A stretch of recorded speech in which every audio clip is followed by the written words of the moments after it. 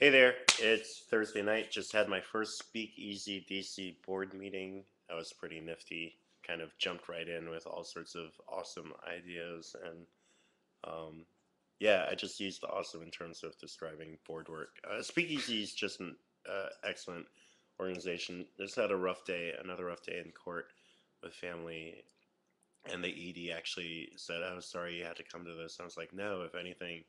It just kind of reaffirms what I want to do with my own life and why I'm here because there's always a story to be told, even with kind of my own personal um, incident, uh, family tragedy, and Speakeasy is definitely.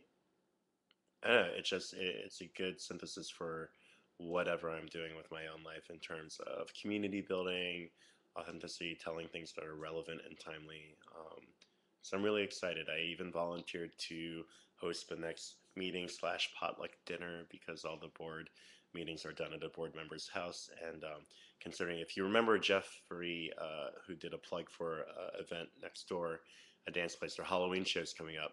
So um, it'll be literally the week of that show. So it'll be a nice chance for some of the board members to come, not only check out Dance Place, but check out these great new artist lofts right next to it. So that's that. Wow, have I really been talking for a minute and 30 seconds? Okay, we're going to leave it at that. Uh, good night. Until next time.